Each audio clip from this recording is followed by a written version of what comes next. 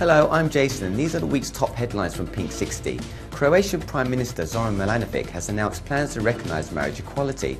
Milanovic is already initiating extensive improvements for gay people, saying it's simply a form of social empathy and decency.